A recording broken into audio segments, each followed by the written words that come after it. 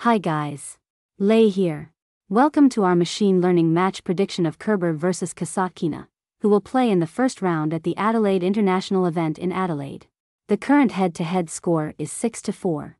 Kerber comes into this match with a ranking of 610, while Kasatkina is ranked 18. Of their last 10 matches played, Kerber has won 5, while Kasatkina has won 6. The MatchStat.com prediction algorithm uses about 190 variables. One very important stat for this match is on hard in recent matches. Kerber has won 0% of her own second serve points and 0% of return points, versus an average opponent rank of 0, while Kasatkina has won 39% of her own second serve points and 47% of return points, against an average opponent rank of 103. To see detailed head to head stats and unlock our full prediction of this match for several markets, head over to MatchStat.com.